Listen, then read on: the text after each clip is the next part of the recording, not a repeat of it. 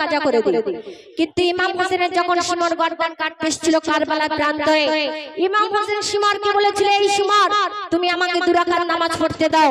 আমি ইমাম হোসেন তোমাকে কথা দিচ্ছি, রোজ দিনে জান্নাতে যাব, নিয়ে যাব তোমাকে। কতটা আল্লাহ পাকের হুকুমকে পালন করতে ইমাম হোসেন শহীদ হতে গেলেন, কিন্তু নামাজ ছাড়েননি। কবি বলছে দেখো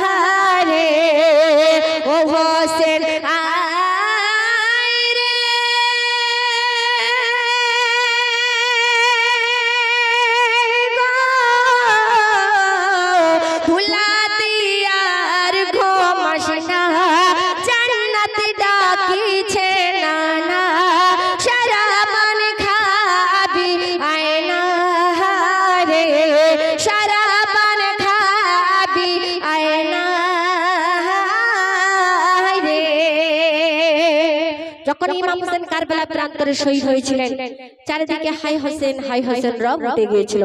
এবং চৌথ আসমানে ফারিস্তারা আল্লাহর কাছে ফরিয়াদ করে বলছে, আল্লাহ রাব্বুল আলামিন, একবার শুধু আমাদেরকে হুকুম দেন, আমরা উহুদ পাহাড় তুলে নিয়ে সিমরের মাথায় মেরে সেখানে শেষ করে দিই।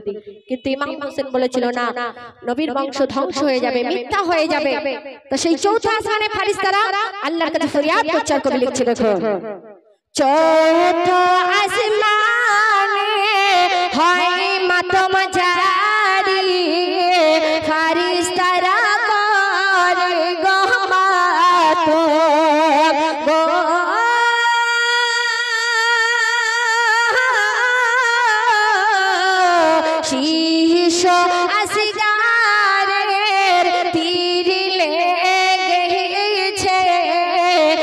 একবার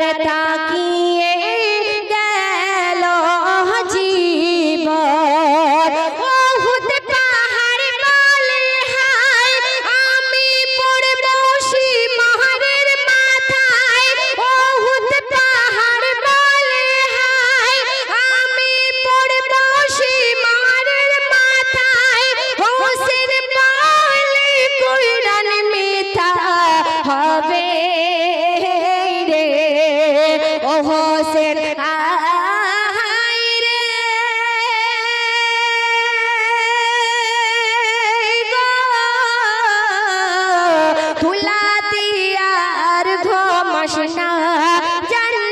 ডাকিছে নানা। শরাবন খাবি আয়না রে কবির কবি লিখছে দেখো